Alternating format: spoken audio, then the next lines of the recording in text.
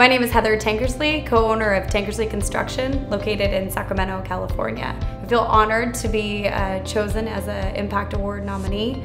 Um, the impact that RA has had in my life and in my husband's life and the ability to run our business has been amazing. Everybody comes together as a group of peers to openly and freely give your advice, your feedback, and your camaraderie. The Impact Award allows individuals to be able to shine and to really highlight what it means to be an RA. I cannot imagine what it would be for our business if we had not joined RA. This ability to come together as a group and share honestly and openly the challenges and trials of business life and business owner life is something that uh, for me and for my husband Steve has been such a huge impact for us.